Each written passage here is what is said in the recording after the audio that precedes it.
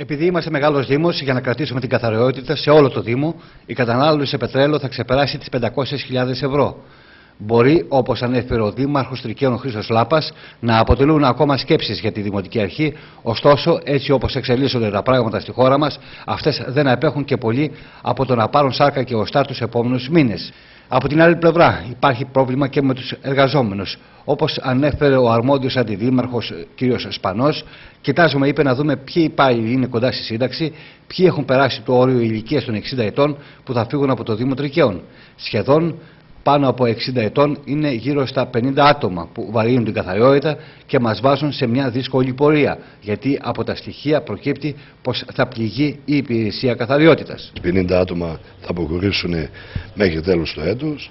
Αποκρούν και οι συμβασιούχοι που έχουμε στην, ε, με τη σύμβαση στην οκτάμινη που πήραμε. Καταλαβαίνετε ότι μπαίνουμε σε μια διαδικασία δύσκολη. Είχαμε δύσκολη διαδικασία με την έννοια μας είχαν φύγει τόσοι συμβασιούχοι.